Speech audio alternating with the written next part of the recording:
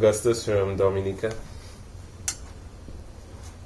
And I'm Michael Cunningham from Bethpage, New York. Okay. I'm we from uh, Houston, Texas. Okay.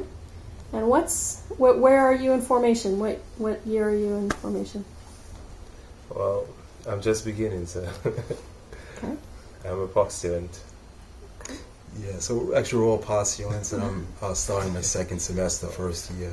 Okay. Same for me. This is my uh, second semester. Okay.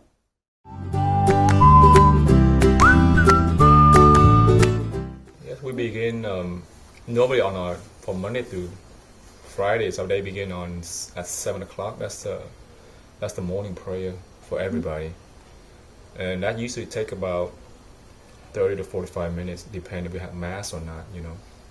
Then after that, if the guys who have class early, our first class begin at um, at nine o five, and we all go to St. John University, and um, whoever have class at nine thirty, so they, they usually leave, leave their house around eight fifteen. And when do you get home? I mean, Well, that depends. Yeah. Um, there, there's a van that comes home at about 2 o'clock, and the last one is St. John's at 5 yeah, Five Five. o'clock. p.m. yeah, o'clock, yeah. Yeah. Yeah, a lot of us have overlapping classes also, which is nice. Uh, so it, I mean, it just builds up that camaraderie Mhm. also, you know. Mhm. Just driving to school and also having people in the same class, you know. Yeah. So usually, when after we get home, is just directly to the chapel, and that's when the uh, the evening prayer begin. Or if it, on Tuesday, then we have Marian devotion, or Thursday is the Eucharist adoration. That usually takes about an hour on Thursday evening. Then after that, then we have supper as a community, Mhm. and that after supper, and you know, and it's just dishes, and all of us get together, and, and we divide them to, into two different team and Mhm. doing dishes and you have a little competition. You see who, who's trying to get it, who try to finish it first, you know. Yeah. Yeah. yeah. Yeah. Then usually after that we have the evening prayer, hmm Okay. and then after evening prayer, then everybody off to their to their study, doing their Mhm. homework or whatnot, or you know, watching a little too. If Yeah. you have you don't have homework. Yeah.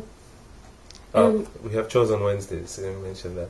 Oh yeah. What's when? What's about? Chores, chores. So Okay. Everybody has um particular assignment. Mhm. Some people have their bathrooms. Yeah. So some people have the chapel. So everybody has their own little hmm um, responsibility. And then Saturdays is usually a free day. A free day for all of us. Yeah. But many of us still have um, mission work on a Saturday. yeah. And what's that? What's? Uh, give me an example of mission work.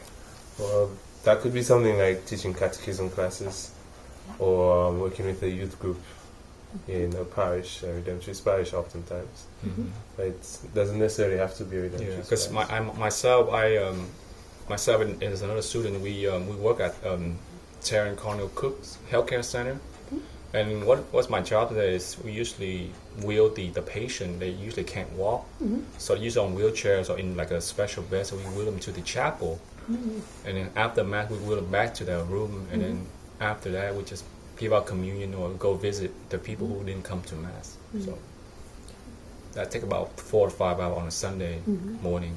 Yeah.